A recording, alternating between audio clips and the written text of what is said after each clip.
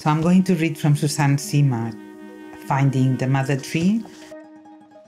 Ecosystems are so similar to human societies. They are built on relationships. The stronger those are, the more resilient the system. And since our world systems are composed of individual organisms, they have the capacity to change. We creatures adapt, our genes evolve, and we can learn from experience. A system is ever changing because it's part. The trees and the fungi and people are constantly responding to one another and to the environment. Our success is coevolution.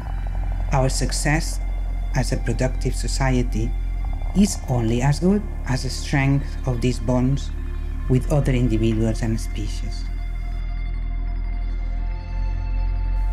We can think of an ecosystem of wolves, caribou, trees, and fungi, creating biodiversity just as one orchestra of woodwind, brass, percussion, and string musicians assemble into symphony.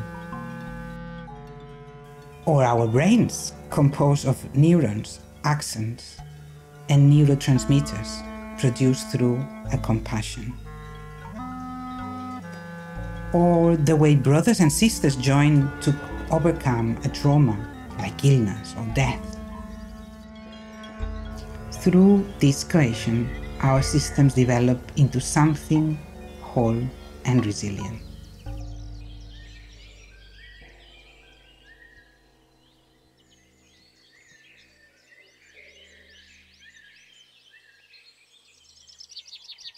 I mean, I am going to die at some point, but we knew for sure he was going to die because he'd been given a diagnosis um, motor neurone disease. It felt like we were walking along together on the same path. Um, we both had some idea of uh, the future we might have together. And then motor neuron disease told us we there would be a point, he knew when, that we wouldn't be on the same path. So maybe there's something about him having to come to terms with dying and me having to come to terms with carrying on. It wasn't that we were necessarily therefore separate. Mm. That it felt, you know, the image that might came to mind was of, two paths converging and, and get parting and converging and parting. Even at those times when the path is divergent, a bit like in a forest that has a space through the canopy where, like the Leonard Cohen um, song, um, was it a crack where the light gets mm. in? I could still see him through the forest, even though we might have been on different paths. Mm. That makes me think about the, the the idea of accompaniment, how we go forward alongside each other, together, as a way of being resilient. You know, it's thinking about what connects us, whether that's visible, whether that's spoken, whether that's witnessed. Mm. Um, and, and, being joined with other people is complicated mm. because, for example, I think you were talking about cultural stories. I think simple questions like, How are you? Yeah. are impossible to answer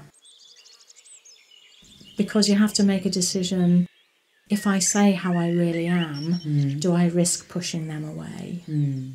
and alienate them? Mm. But if I don't really say how I am, then do I risk alienating myself and feeling isolated? And so um, we came up with the idea of saying um, I'm okay or not okay today, but so the, the, the theme of time is quite important. But yeah, so joining and being witnessed and being known and witnessing are, are complicated acts. Complicated and, and they're also connected to the um, social discourses about illness somehow and how we respond to illness. Well, an, an illness that has a cure elicits a sense of hope and a sense of relief. Um, an illness that doesn't have a cure requires people to do something different. Mm. I think it requires people to be. My goodness. To, to find hope in a different way. Yeah, yeah. I'm thinking as we're talking, what does an illness that doesn't have a cure require of us? Compassion, Mm. um, love, um, humility, Lots of humility. maybe connection with a bigger picture, with the bigger world that actually, Makes sense to do the bigger picture. yeah, because when you get a diagnosis, it is like a, a tsunami. It does Mm. feel like you're going to get swept away. Mm. That's where my impulse to protest came from Mm. because actually, this is outrageous. How could this have happened to us? Mm, my husband to be diagnosed with motor neuron disease at 42, 43 years of age, that's outrageous. Outrageous. But then on top of that, there's a whole set of discourses that then you're up against. Mm. In the case of motor neuron disease, you know, maybe there will be a cure, but at the moment there isn't. And so we can't change the fact of death, but we can. Maybe the change is in how we understand the constructs we're expected to fit in and the Yeah. way and and maybe have a think about that actually maybe that isn't how we have to do this mm. So, so maybe that's how we don't witness fully. We just witness according to our cultural models, also, isn't it? You know, if you if you go and visit an ill person, you will witness in this way. people sometimes look for answers and you know sort of have hopes invested maybe in things like genetic testing mm. and, and whether there's something about um, uh, and, and whether that's something about our say something about our culture or whatever the idea that there's a sort of a, a privilege afforded to achievement or outcome or um, results or Or cure. or cure and and yet maybe what's less visible or less audible is something about the journey or the process and how we are with people um, and what that means I think it goes back to a bit narrow one story of what it is to live and what it is to die. Too much Hollywood, too much capitalism, really. It comes to me and sounds a bit stereotyped, but the, the, those are the, the, the mm. guidelines we have. Then mm. it's very hard to kind of go against the, mm. the those very heavy discourses that organize how we need to live our lives.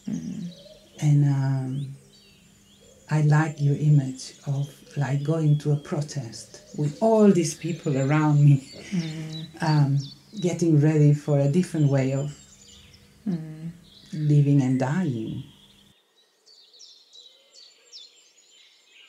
So while Jim, for example, didn't always look forward to having people visit because he would see his physical illness and his deterioration through their eyes, it wasn't a sort of witnessing that he felt comfortable. If um, people had read about motor neuron disease and came to him with some knowledge or asked him about um, his interest in technology that would help him to communicate through um, eye movement, for example.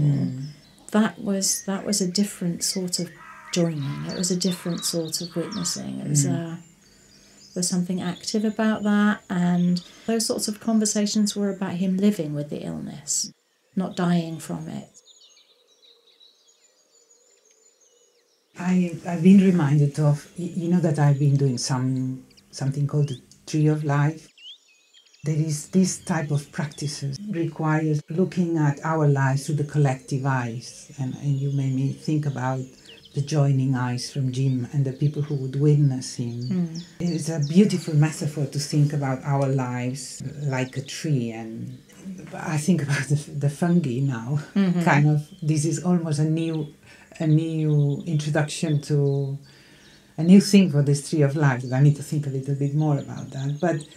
Also, we think about the storms. You were talking about the tsunami a minute Mm. ago. So, so storms of life, you know, forests they go through storms and there are animals in the in the forest that they respond to storms and the way we respond can be very visible like we think about animals responding to the storm but then there is these fungi things that might be invisible to the eyes Mm. and and that's something um, that might um, give us some sense of um, I don't know some sense of you were talking about compassion or invisible compassion almost that is not visible to the eye. Mm. Um, if Jim is feeling a bit more hopeful because somebody is witnessing him and asking about the possibility of communicating in a different way, hmm. this might be invisible to to other people's eyes, but for hmm. him might have been something very important. Hmm.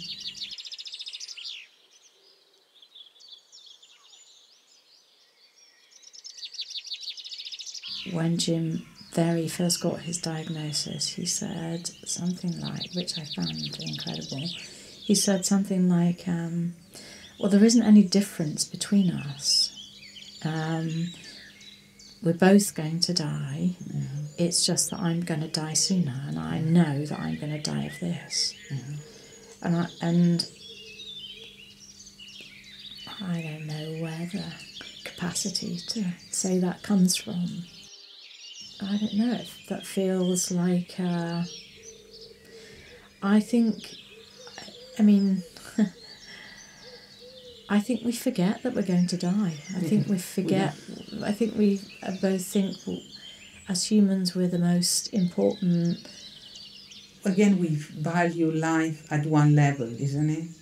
Because you were saying you you will know a lot about dying because of Jim. Mm, So he's not gone. mm, He's gone. It's a part of him that is gone. And he's present in your life, mm, your memories, in the way you think about things and you live your life.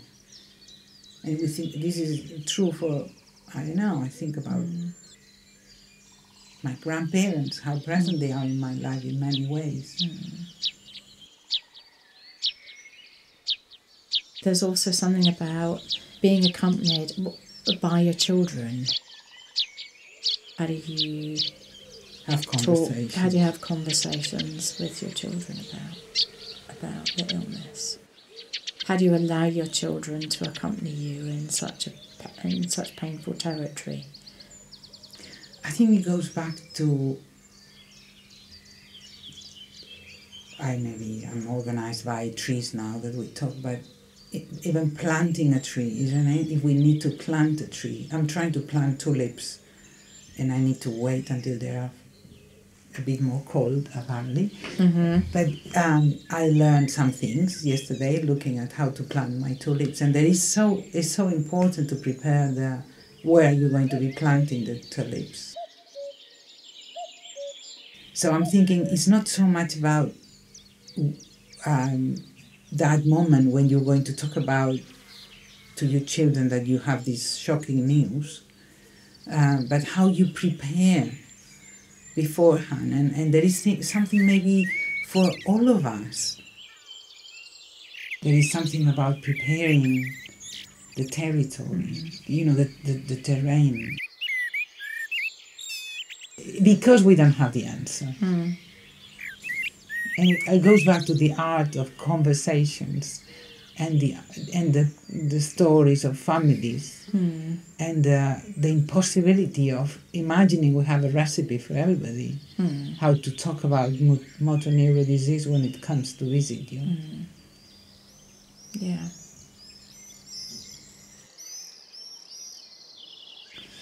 I was sort of wondering, thinking about trees and forests, about I don't un, I don't know this, but what contributions the little trees make to the forest.